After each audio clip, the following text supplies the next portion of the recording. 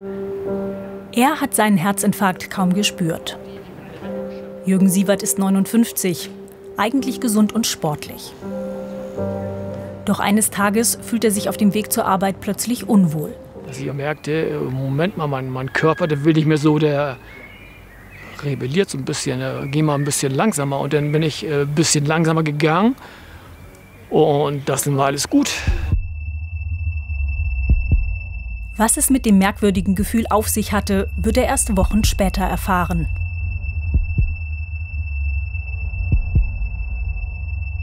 Bei einem Routine-Check-up stellt der Arzt fest, etwas stimmt nicht.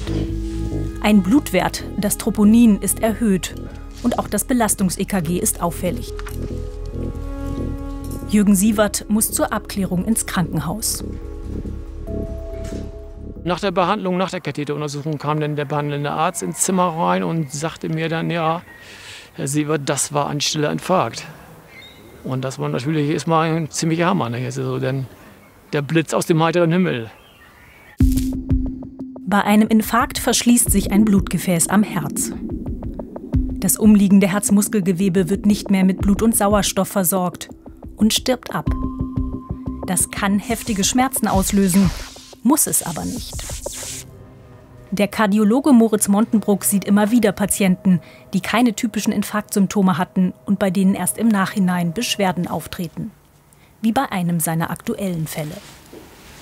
72-jähriger Herr, rüstig, sportlich, aktiv, äh, berichtete darüber, dass er ähm, wenn er spazieren geht, nach 200 Meter, manchmal so im linken Brustbereich, Höhe der Brustwarze, so einen Stechen gewissen Druck hat. Ein Herz-MRT offenbart, die Durchblutung ist gestört. Und der Kardiologe entdeckt auf den Bildern eine Narbe am Herz. Ein klares Anzeichen für einen abgelaufenen Infarkt. Hier sieht man, dass die ganze Dicke des Herzmuskels von innen nach außen weiß ist. Das heißt, hier haben wir abgestorbenes Herzmuskelgewebe, also ein alter Herzinfarkt. Vor allem bei Männern bleibt ein Infarkt oft stumm. Bei Frauen äußert er sich hingegen eher untypisch. Durch Oberbauchbeschwerden, Schmerzen im Rücken oder Nacken, im Kiefer oder sogar im Kopf. Die Schmerzen können überall hin ausstrahlen. Das kennen wir auch von anderen Erkrankungen, dass der Schmerzreiz nicht unbedingt dort wahrgenommen wird, wo er entsteht. Das Klassische, was, was man kennt, Druck auf der Brust und direkt Ausstrahlung mit Schmerz in den Arm, das haben ungefähr nur 20 Prozent. Das Alarmsignal Schmerz.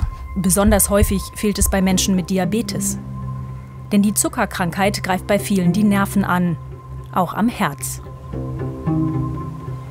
Wir nennen das kardiale autonome Neuropathie. Das heißt, dass die Nerven den, den Schmerz nicht so weitergeben, wie wir es kennen.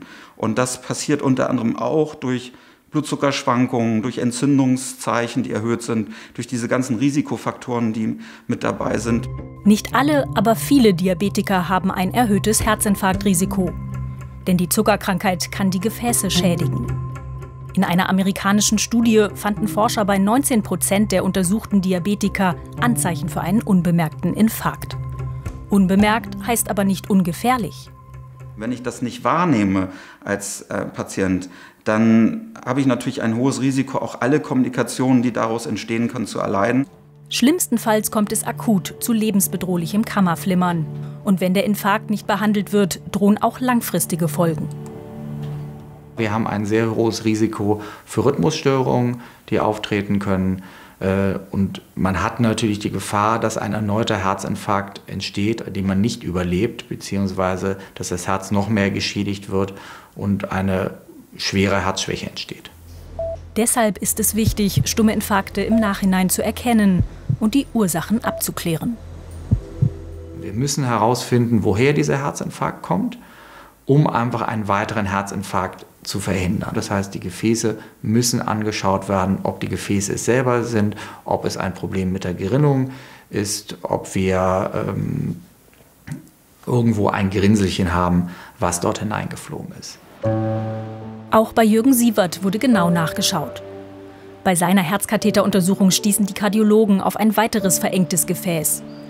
Er bekam einen Stand. Inzwischen weiß er auch, was zu seinem Infarkt geführt hat. Seine Blutfettwerte sind erhöht, ein familiäres Problem.